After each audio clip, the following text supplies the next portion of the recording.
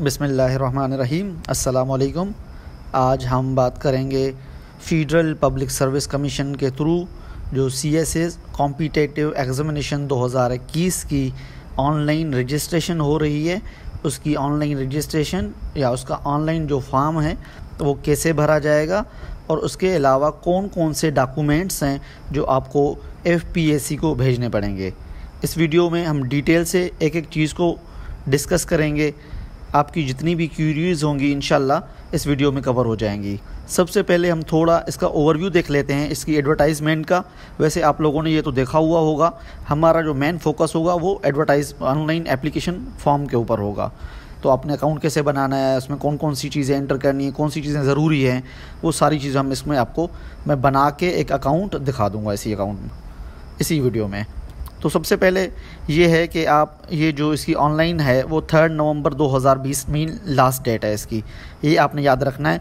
और जो online application की कॉपी जो है हार्ड कापी में आपने विद इन दस दिन भेजनी है उसको कि तेरह नवंबर 2020 को आपका सी एस एस दो हज़ार इक्कीस का जो फॉर्म है ऑनलाइन फिल किया हुआ, उनको पहुँच जाना चाहिए हार्ड कापी में तेरह नवंबर तक।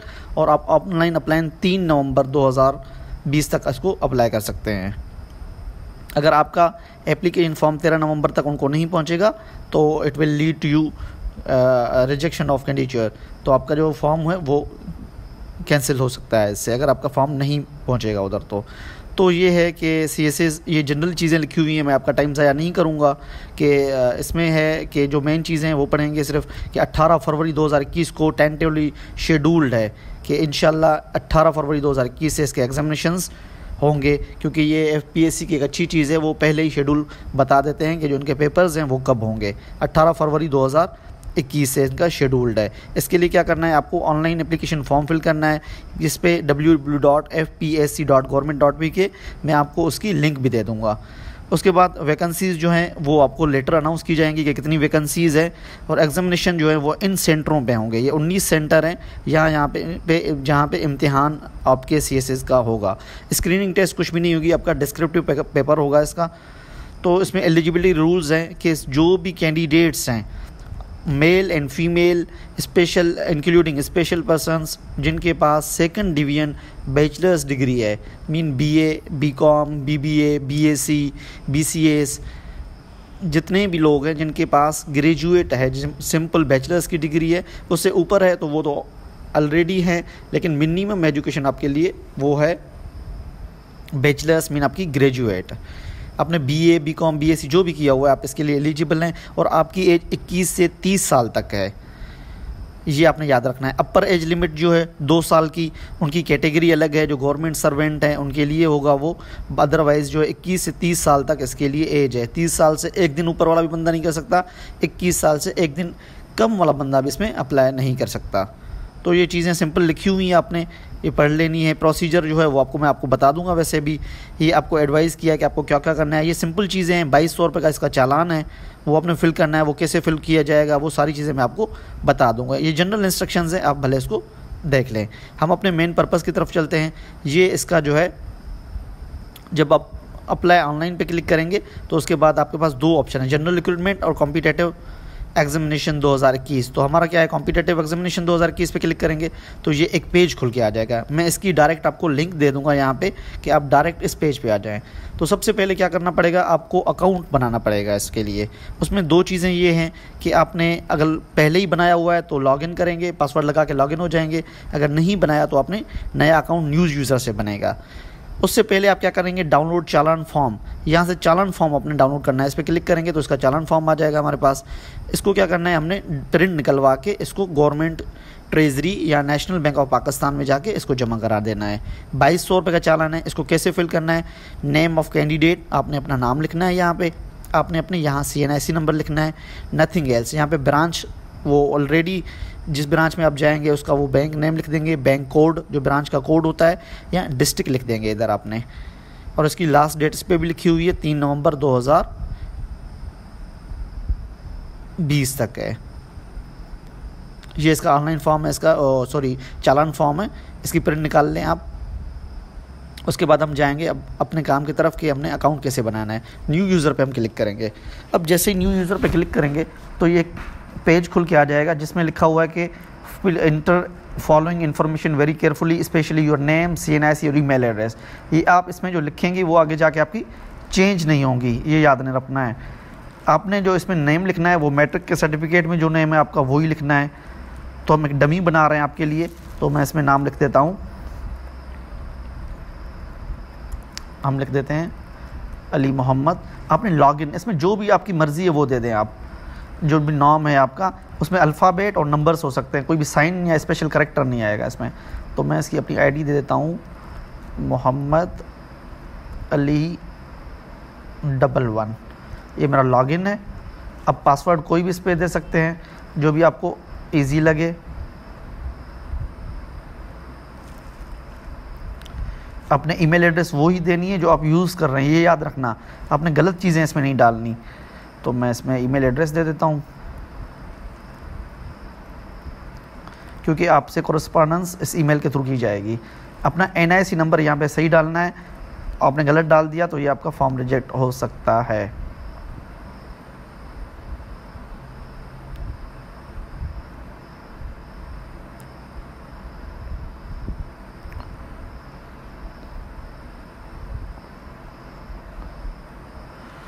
उसके बाद ये कोड आएगा। आपने यहाँ पे जो लिखा हुआ कोड है, इसको रीड करके उसमें लिख देना है। Two six four one four I think यही कोड है इसका। तो इसको, इसके बाद हम क्या करेंगे? इसको सबमिट कर देंगे। आपका जो अकाउंट वो क्रिएट हो चुका है। तो आपने अब क्या करना है? लॉगिन अब लॉगिन हमने आईडी लिखी थी हमारे। हमने लॉगिन आईडी दी थी मोहम्मद अली डबल वन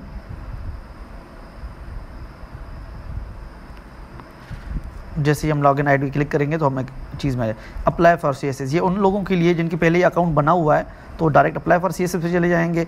और जो नए यूज़र्स हैं या इसको अपडेट करना चाह रहे हैं तो क्रिएट अपडेट प्रोफ़ाइल पे हम क्लिक करेंगे। Click here to create your profile yes हम प्रोफ़ाइल बनाना चाहते हैं, हमने यहाँ पे क्लिक किया। हमने जो नाम लिखा था, वो यहाँ पे ऑलरेडी लिखा हुआ है, इसको हम चेंज नहीं कर सकते।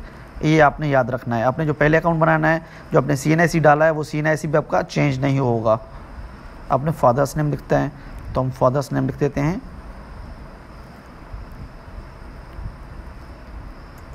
अली मोहम्मद, उसके बाद Ahmed Ali date of birth exact जो आपकी मैट्रिक में लिखी हुई है तो हम इसमें डेट ऑफ़ बर्थ दे देते हैं।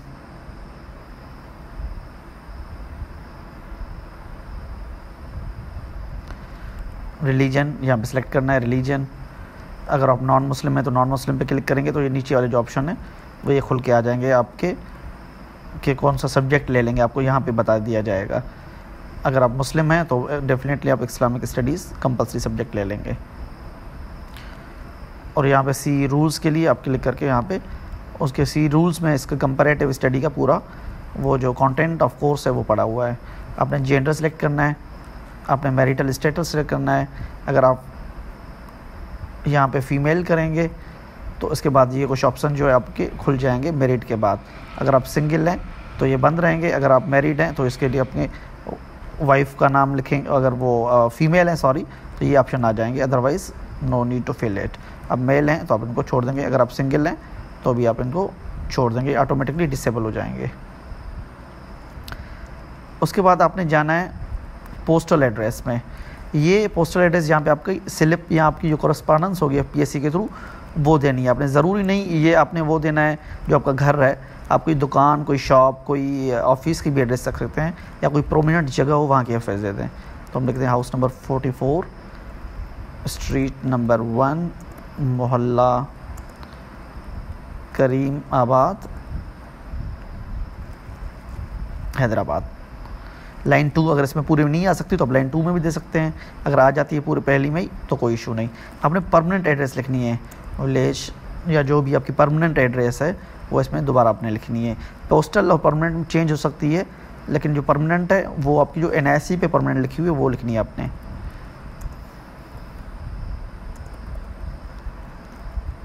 पूरा फॉर्म फिल करना इतना इशू नहीं है, सिर्फ़ आप एक दफ़ा देख लें, आपकी क्यूरीज ख़त्म हो जाएँगी इन उसके बाद डोमिसाइल आपका कहाँ का है? जहाँ का भी आपका डोमिसाइल है, वो सिलेक्ट हम कहते हैं सिंध रूरल का डोमिसाइल है हमारा। तो यहाँ पे उसके बाद डिस्ट्रिक्ट दे देंगे आप, कि आपकी कौन सी डिस्ट्रिक्ट से बिलोंग करते हैं। ईमेल आपकी चेंज नहीं होगी, अगर फ़ोन नंबर है ऑफ़िस का, रेजिडेंस का तो देना है अदरवाइज़ आपने मोबाइल नंबर देना है यहाँ पे। हमने मोबाइल नंबर दे दिया सी एन आई नंबर, अगर आपके पास है तो वेरी गुड अगर नहीं है, ये सॉरी आपने कहा सी एन आई चेंज नहीं होगा वेरी सॉरी ये चेंज नहीं हो सकता सी एन आई के बगैर तो काम ही नहीं होगा। Previous experience of taking psychological test अगर आपके पास है तो येस लिखेंगे तो आपने बताना होगा कि आपने कहाँ पे टेस्ट दी है ये। अगर नहीं तो आप इसको नो कर देंगे। अगर फ्रेश कैंडिडेट हैं जैसे तो वो नो कर दें बेहतर है। रिलैक्सेशन अगर आप ले रहे हैं, इन सर्विस हैं arm services schedule caste Azad Kashmir के हैं, गिलगित बल्तिस्तान के हैं डिसेबल कैंडिडेट हैं या कोई और चीज़ है तो आप अदरवाइज़ आप विद इन द एज हैं तो आप रिलैक्सेशन को नॉट क्लेम करेंगे। डिसिप्लिन एक्शन उनके लिए जिन लोगों ने गवर्नमेंट सर्विस की और वहाँ से टर्मिनेट किए गए हों, या उनको ड्यूटी से फारग किया गया हो, गवर्नमेंट जॉब की तो वो यहाँ पे येस कर देंगे, या कन्विक्टेड कभी आप अरेस्ट हुए हैं तो वो भी येस कर देंगे, अगर नहीं तो आप उसको नो कर देंगे तो उसके बाद आपने सेव कर देना है इस पर हमारा पहला ऑप्शन इसका जो फिल हो गया। यहाँ पे आप देखेंगे, ये पूरी डिटेल हमने देनी है, ये ये चीज़ें देनी है। उसके बाद अपलोड फ़ोटो फ़ोटो की साइज़ तीस के से ऊपर नहीं होनी चाहिए। हमने एक पहले ही ऑलरेडी एक फ़ोटो डमी बनाया हुआ है, इसे चूज़ करेंगे, इसको हम अपलोड करेंगे। अगर आपने चेंज करना है तो आप रीसेट पे क्लिक करके दूसरा फ़ोटो लगा सकते हैं। अपलोड पे क्लिक करेंगे तो ये हमारा फ़ोटो जो है वो अपलोड हो जाएगा। ये अपलोड करना ज़रूरी है आपने। उसके बाद ये जो एजुकेशन का सेक्शन है, इसमें अपने एजुकेशन पूरी भरनी है। इसमें ये लिखा हुआ है कि आपने एक लेवल की एजुकेशन एक उसमें भरनी है। आपने अगर मास्टर्स की है या बैचलर्स की है तो ये उसका फॉर्म है, उसमें भरा जाएगा। और फ़र्स्ट सबसे पहले जो आपकी लास्ट एजुकेशन है, जैसे I did my B M B A तो मैंने एम बी ए की है, और अगर मेरी सी जी पी ए है तो मैं लिख देता हूँ उसमें थ्री पॉइंट एट ज़ीरो अगर है। और आपकी मीडियम ऑफ़ इंस्ट्रक्शंस कौन सी? इंग्लिश आपने किस यूनिवर्सिटी या बोर्ड से किया है तो आप लिख देंगे, हमने किया है सिंध यूनिवर्सिटी आपके स्कूल कॉलेज यूनिवर्सिटी अगर चेंज है तो आप लिख देंगे सिंध यूनिवर्सिटी चाम शोरो जहाँ की भी आपकी एड्रेस है, जो भी है, वो लिख देंगे आप इसमें। फ्रॉम डेट आपको तो पता होगा एग्जैक्ट डेट का पता नहीं होता हमें शेड्यूल्स का, लेकिन हमें नो हाउ होती है कि हमने जो एडमिशन शुरू हुई थी यूनिवर्सिटी की वो सितंबर में हुई थी। सितंबर 2017 में कि कोई भी डेट लिख दें, आप पहले लिख दें संडे सैटरडे ना हो। बाकी आपके अब किस डेट तक? मीन आपका दो साल की डिग्री थी तो ये कंप्लीट हो जाएगी आपकी 2019 में। 19 के अक्टूबर माह में हमारी 17 को कंप्लीट हो चुकी थी ये। और रिज़ल्ट जो आपकी मार्कशीट आएगी, उस पर लिखी होती है कि आपकी रिज़ल्ट डिक्लेरेशन डेट क्या है। तो मेरा रिज़ल्ट जो है, वो आ गया है 2019 के दिसंबर मंथ में। ये ऑटोमेटिक आपको दिखा देगा, कोई गलत चीज़ आपको भरनी नहीं देगा और 18 तारीख या 17 तारीख कर देते हैं हम। एग्जैक्ट लिखनी है, आपने गलत नहीं लिखनी, ये याद रखना। क्योंकि इसमें डेट आपको पता नहीं है तो इसमें आप कोई भी डमी डेट डाल सकते हैं, लेकिन मंथ और साल आप कंफर्म लिखेंगे इसमें। उसके बाद ये एक चीज़ आ रही है आर एम एफ़ एम जो है मेडिकल के लिए है एफ़ जो है वो फॉरेन कैंडिडेट्स के लिए, ये याद रखना। जिनका एम है, सिर्फ़ वो एम पे क्लिक करेंगे। जो फॉरेन से पढ़ के आए वो एफ़ पे करेंगे। अदरवाइज़ आप आर पे कर देंगे, जो भी जितने भी पाकिस्तानी हैं। मेजर सब्जेक्ट्स अगर मैं लिख दूँ, मेरी एचआरएम में है तो वो लिख सकता हूँ मैं। दो तीन सब्जेक्ट दे सकता हूँ। अचीव कोई अवार्ड कोई मिला है तो ठीक। अदरवाइज़ हम इसको छोड़ के सेव कर देंगे। ये पहला ऑप्शन फिल हो गया, यहाँ पे आ जाएगा आपका एमबीए उसके बाद एमबीए से पहले हमने क्या की थी? बैचलर्स की थी। ऐसे ही हमने भरना है। मैं आपको सिखा देता हूँ, मैंने किया था उससे पहले बीबीए और वो था उसमें डिवीज़न डिवीज़न उसमें मेरा फ़र्स्ट डिवीज़न था। इंग्लिश था उसमें, मैंने वो की थी शाह लतीफ़ यूनिवर्सिटी खैरपुर से। मैं आपको सैंपल भरना सिखा रहा हूँ अपने प्रॉपर लिखनी है ये चीज़ें। खैरपुर, कब किया था मैंने? ये ये मैंने 2014 से किया था। जून।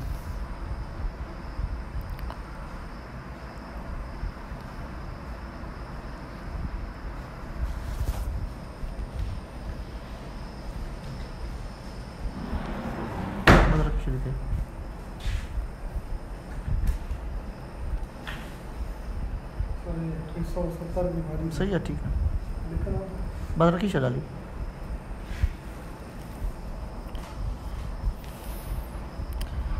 इसकी जो कंप्लीशन डेट है, वो है अप्रैल 2016 की सात तारीख तक। दो साल की थी और मेरा रिज़ल्ट जो आ गया था, वो मैं आप इसमें लिख देता हूँ। आपने प्रॉपर लिखना है, मैं तो सिर्फ़ डमी बना रहा हूँ आपके लिए, समझाने के लिए। तो मैंने उसमें रिज़ल्ट डिक्लेरेशन डेट भी लिख दी। वही पाकिस्तान से है तो हम इसको आर लिख देंगे। हमने बीबीए में कोई सब्जेक्ट लिए हुए हैं तो ठीक है। जैसे आपने बीए किया हुआ है तो आपने बीए किसमें किया है? बीएस किया हुआ है तो आपने कंप्यूटर के सब्जेक्ट लिखने हैं। बीएससी किया हुआ है तो उसमें फ़िज़िक्स केमिस्ट्री लिखनी है। जो भी आपके सब्जेक्ट्स हैं, वो आप इस लिख देंगे। अगर एमबीबीएस किया हुआ है तो आपने इसमें एक दो तीन सब्जेक्ट लिख देंगे। जितने भी एक दो तीन अगर नहीं लिखेंगे भी तो कोई इशू नहीं है इसमें। हमने बीबीए किया है, हमने सब्जेक्ट कोई भी नहीं दे रहे, हम इसको सेव कर रहे हैं। सबसे पहले जो आपकी रिसेंट क्वालिफिकेशन है, वो आएगी इसमें।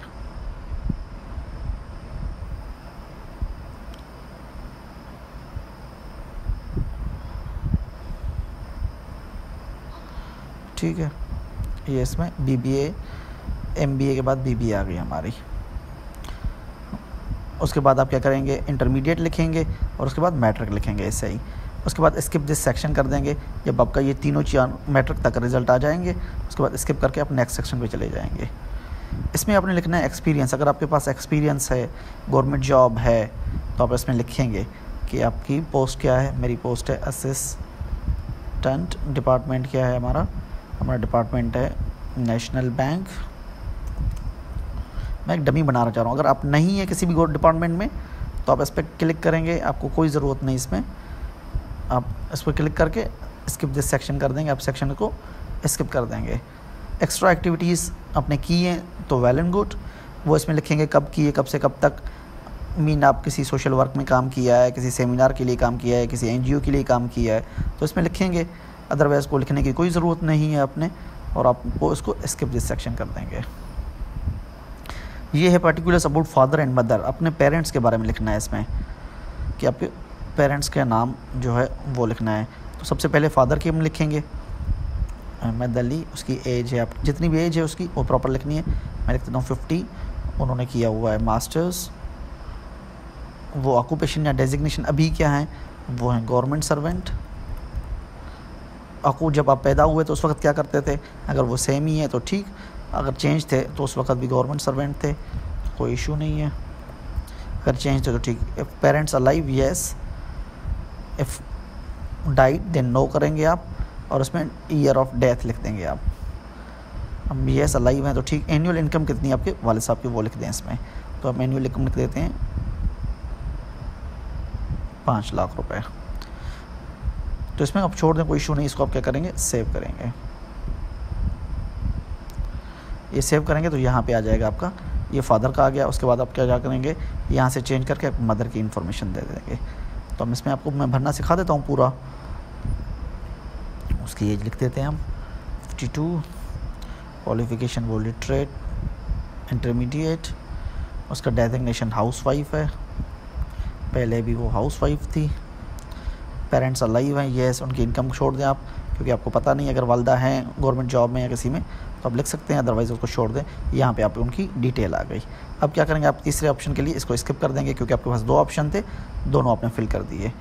अगर डिसेबल कैंडिडेट हैं तो वो यहाँ पे लिखेंगे कि आपको डिसेबिलिटी कौन सी है?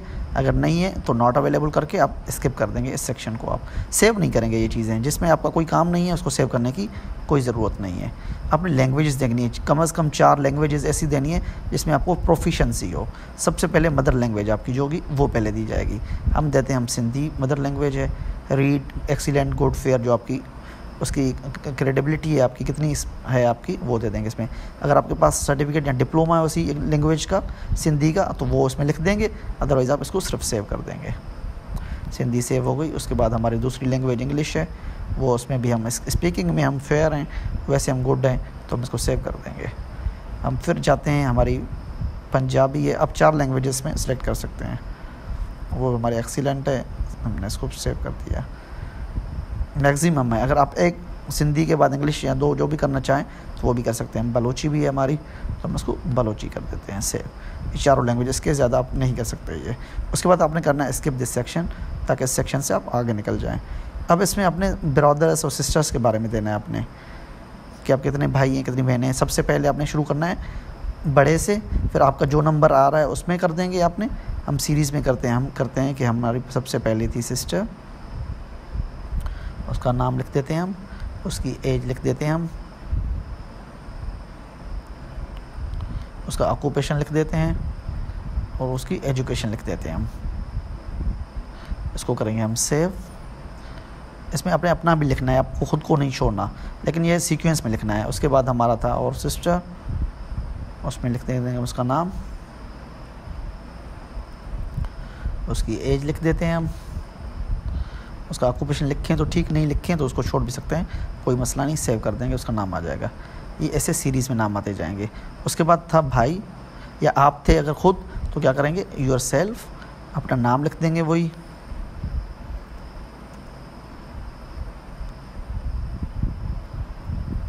ठीक है एज लिखेंगे आप अपनी, जितनी भी हो रही है आपकी। साल लिखने हैं सिर्फ़, और कुछ भी नहीं लिखना। हम लिख देते हैं इसमें, छब्बीस साल। ऑक्यूपेशन आपने अगर है तो ठीक अदरवाइज़ आपने छोड़ देना है। और आपकी एजुकेशन क्या है, वो इसमें लिख देंगे आप, इसको कर देंगे हम। सेव इसमें प्रॉपर एजुकेशन डालनी है आपने। ये आपने गलत फॉर्म नहीं भरना कि आप छोड़ देते हैं। पूरी फैमिली जितनी भी आपकी, वो इसमें लिखना है। उसके बाद स्किप कर देना है। ये है कि पर्टिकुलर्स अगर आपका कोई रिश्तेदार, जिसमें आपकी वालदा फादर ब्रदर बहन, भाई, आपका चाचा या आपका मामा, या आपका कोई साला first relation in laws government servant में हैं तो उसका आप लिख देंगे। अगर नहीं है तो उसको आप छोड़ देंगे। स्किप दिस सेक्शन करके आप आगे चले जाएँगे। अगर कोई है तो उसकी डिटेल आप लिख देंगे इसमें।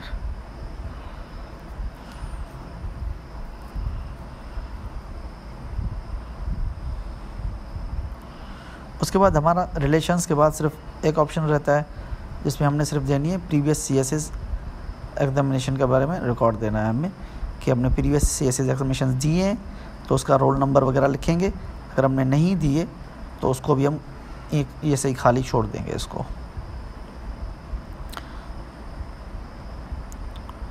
ये प्रोसेस करने में इशू कर रहा है।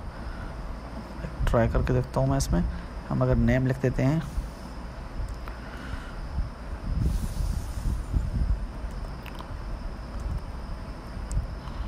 रिलेशनशिप अंकल डिपार्टमेंट या पोस्ट जो है इसकी वो है, हम लिख देते हैं N B P place of duty हम इसकी लिख देते हैं।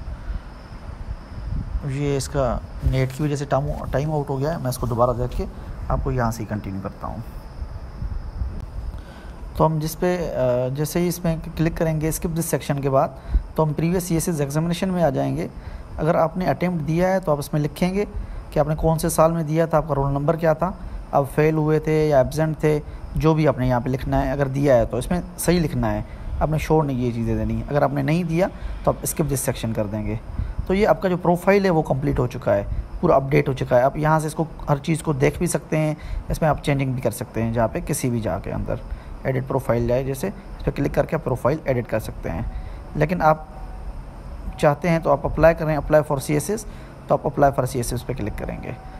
तो जैसे अप्लाई फॉर सी एस पे क्लिक करेंगे आपको तो ये एक ऑप्शन खुल के आ जाएगा। क्लोजिंग डेट भी दी हुई है उन्होंने, आप सिर्फ़ अप्लाई पे क्लिक कर देंगे। अब जैसे अप्लाई पे क्लिक करेंगे तो आपको सब्जेक्ट्स चूज़ करने होंगे। तो ये आपने याद रखना है कि ऊपर लिखा हुआ है कि 600 मार्क्स का अपने सब्जेक्ट लेने यहाँ पे, और हर ग्रुप का वो लिखा हुआ है कि कौन से ग्रुप से आप कितने सब्जेक्ट्स या कितनी मार्क्स के सब्जेक्ट ले सकते हैं। तो मैं आपको इजीली बता देता हूँ कि ये आपको चेंज नहीं करने पड़ेंगे। एक दफ़ा आपने सेलेक्ट कर दिया सबमिट कर दिया, उसके बाद आपके चेंज नहीं होंगे। तो हम सब्जेक्ट लेते हैं पॉलिटिकल साइंस ले लेते हैं यहाँ से। 200 मार्क का एक सब्जेक्ट लेना है यहाँ से। और यहाँ पे 100 मार्क के इसमें से दो हैं। इसमें से कोई भी एक ले लें या आप इसमें सौ का लेंगे, कोई भी। इसमें दो कोई सौ के भी ले सकते हैं आप सिर्फ़ इसी ग्रुप में। बाकी हर ग्रुप में से आप सौ के भी लेंगे। तो हम एक वो हो गया दो सौ का। तीन सौ का हम टाउन प्लानिंग ले रहे हैं। हम इस्लामिक हिस्ट्री ले रहे हैं चार। मीन हमारे चार सौ मार्क्स ये हो गई। हम यहाँ पे ले रहे हैं आ, हम इसमें हम सिंधी ले रहे हैं। तो हमारे कितने सब्जेक्ट्स हो गए? हम मुस्लिम लॉ ले रहे हैं। तो ये हमारे हो गए एक, दो दो सौ मार्क्स, तीन सौ मार्क्स, चार सौ मार्क और 200 मार्क की ये ये, इन पाँच सब्जेक्ट। इनके दो पेपर होते हैं वैसे भी पॉलिटिकल साइंस के अगर आप लेंगे तो या आईआर के लेंगे तो आप दो पेपर होंगे वो भी, सेव क्लिप पे करेंगे। तो आपका ये सेव होगा। आप यहाँ को एडिट भी कर सकते हैं जाके अगर आपने गलती में इसको भर दिया है। जब तक हमने ऑनलाइन ओके या फिल नहीं कर दिया या सबमिट नहीं कर दिया, उसके बाद आप ऐड करेंगे कि आपने ग्रुप की यहाँ पे प्रेफरेंस देनी है।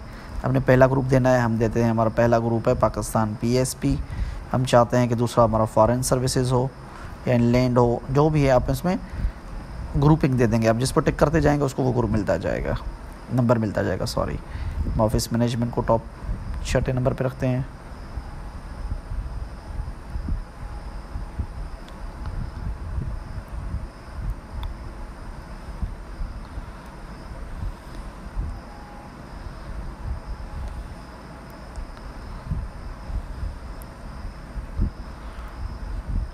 इसमें इनकी मिस्टेक है कोई। ये एड दोबारा करने पड़ेंगे। क्योंकि उसमें उन्होंने गलती से दो दफ़ा एक नंबर अलॉट कर दिया उसको। हमने जो सीक्वेंस वाइज नहीं देने, हमें हम चाहते हैं कि हम फॉरेन सर्विसेज़ हो। हमारा ये है, उसके बाद हम ये चाहते हैं, इसमें बारह सब्जेक्ट्स हैं। ग्रुप्स हैं, अपने बारह सब्जेक्ट ग्रुप्स को डिवाइस करना है, ऐसे ही। ये बारह हो जाएँगे अकॉर्डिंग टू योर प्रेफरेंस उसके बाद आप करेंगे इसको सेव आपने ट्रेजरी चालान, जो चालान आपको मैंने दिखा दिया था, वो फिल करके आए होंगे। वहाँ पे आपने उसका ट्रेजरी नंबर लिखना है कि आपका नंबर क्या था। बाईस सौ का है, वो तो उसका ही होगा। नेशनल बैंक में पिलाया है। आपने कौन से शहर से पिलाया हमने किया है हैदराबाद। और हम नैन बी का ब्रांच कोड जो होगा, हमारा वो लिख देंगे इधर। डबल ज़ीरो सेवन सिक्स जो भी है, मैं आपको डमी बता रहा हूँ, लेकिन इसका यहाँ पे लिख देना है आपने वो कोड इसमें। कब जमा कराइए, वो डेट सेलेक्ट कर देंगे आप। हमने आज जमा कराइए मिसाल के तौर पे। और अब टेस्ट आप जो पेपर कहाँ देना चाहते हैं, हम चाहते हैं कराची में हम पेपर दे दें। प्रोसीड टू नेक्स्ट पे क्लिक करेंगे हम। तो ये आपका फॉर्म आ गया पूरा। इसको आप रिव्यू कर सकते हैं। आपने जो भी इंफॉर्मेशन दी है, पूरी को इसमें पेन से कुछ भी नहीं कर सकते आप अभी। इसको प्रिंट निकलवाएँगे आप और उसको कन्फर्म एंड अप्लाई पे क्लिक कर देंगे। जैसे आप कन्फर्म एंड अप्लाई पे क्लिक कर देंगे तो ये आपका अप्लाई हो जाएगा, आपको एक ईमेल भी आ जाएगी कि आपका फॉर्म जो है वो हो गया या सबमिट हो गया है। और उसके अलावा ये आपको मैसेज भी आ जाएगा कि आपका जो फॉर्म है वो हो गया। उसके बाद इस फॉर्म का क्या करना है आपने? प्रिंट निकलवाना है और उसके साथ कौन कौन से डॉक्यूमेंट्स हैं, जो भी आपकी यहाँ पे इंफॉर्मेशन भरी हुई है, ये जो जितनी भी चीज़ें आपने दी हुई, इन सब के डॉक्यूमेंट्स अटेस्टेड वो लगा के आपने इनको फेडरल पब्लिक सर्विस कमीशन की ऑफ़िस को भेज देने हैं। आपको फिर भी कोई चीज़ समझ में ना आ रही हो, ये शायद कोई नेटवर्क की वजह से इशू कर रहा है, लेकिन फाइनल प्रोसेस यही था। ये आ गया you have already applied for C S S दो हज़ार इक्कीस। एप्लीकेशन हिस्ट्री में क्लिक करेंगे तो हम दिखा देगा हमें कि हमने किस किस के लिए अप्लाई किया है दो हज़ार इक्कीस के लिए। प्रिंट व्यू यहाँ पे क्लिक करके हम प्रिंट भी निकलवा सकते हैं इसी फॉर्म का। जैसे प्रिंट करेंगे तो सेव एज पी आ जाएगा। अगर प्रिंटर है आपके पास तो डायरेक्ट प्रिंटर पर क्लिक करके इसको प्रिंट करेंगे, इस पर सिग्नेचर करेंगे आप और इसको आप भेज देंगे किसको एफ़ की वेबसाइट पर और सॉरी उनकी दस दिन के अंदर। और पूरी इन्फॉर्मेशन दी हुई है इसमें। अगर आपको फिर भी कोई चीज़ समझ में नहीं आ रही तो आप हमसे कमेंट करके पूछ सकते हैं। थैंक्स फॉर वॉचिंग शुक्रिया। अल्लाह हाफिज़।